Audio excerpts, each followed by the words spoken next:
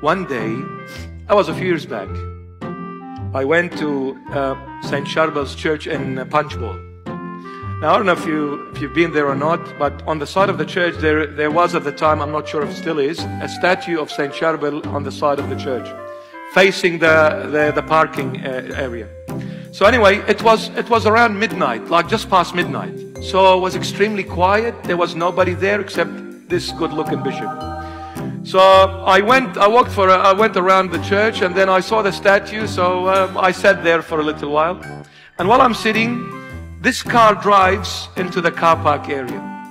I thought it was a security guard.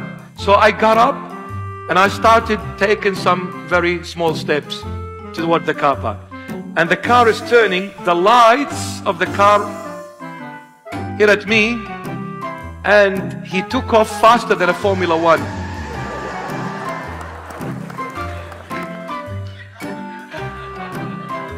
I said, I said, Marshall, believe me, I didn't mean it. he thought, he thought Mar Charbel is walking. I said, um, good night, brother. now, Mar Charbel is Habib Albi. We love him.